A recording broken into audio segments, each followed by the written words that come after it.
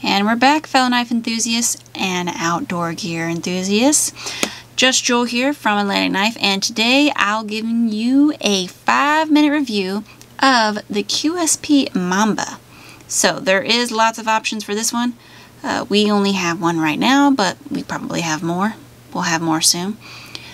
So this knife is 8 inches overall with a 3.5 inch two-tone finish blade. So it's got the black finish and the satin finish.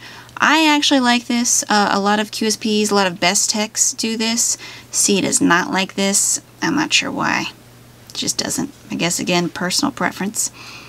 Does have some jimping, which we all like. It's about uh, 3.5 millimeters in thickness. Hardness is 5860 on the HRC.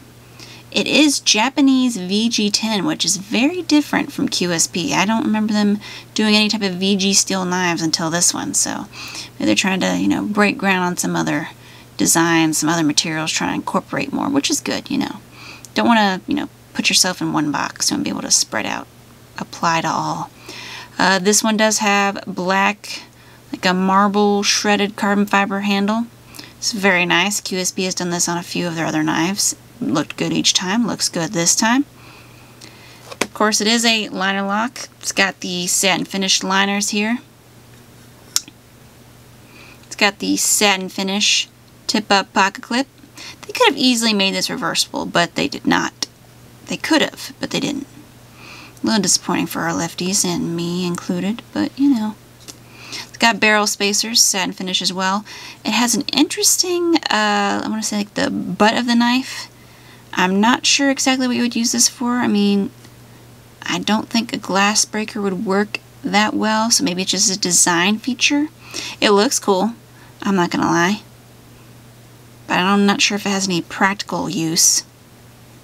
Let me know in the comments if you if there's any, you know, use you could think of for this jagged design they have on the end here. I can't think of anything other than like a, maybe a glass breaker. But I don't think it's quite pointed enough for that. It might work. I haven't tested it myself, but maybe I should do a review, a video of that, you know? Testing glass breaker ends.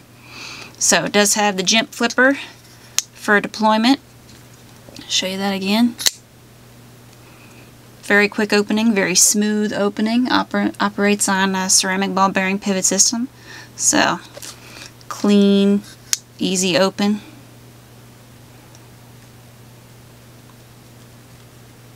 I do really like this design. You know, it's starting to grow on me. I think I mentioned at one point that I'm not super impressed with it, but now that I'm holding it and using it, I kind of like it.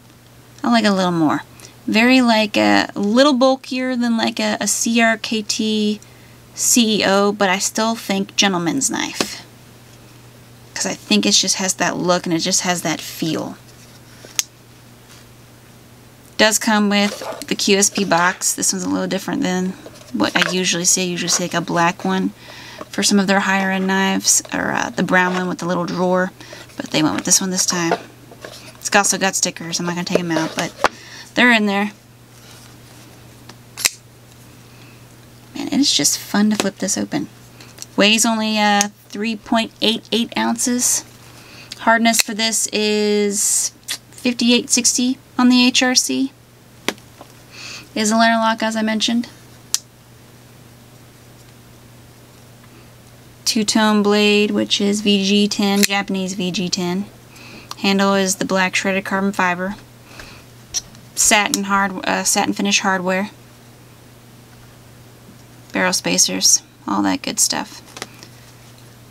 And overall, I said uh, I, I'm starting to like it. Just fun to open, looks good. What more can you ask for?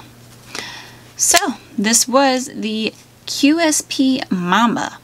I'm just Jul with a Atlantic Knife, and I am signing off.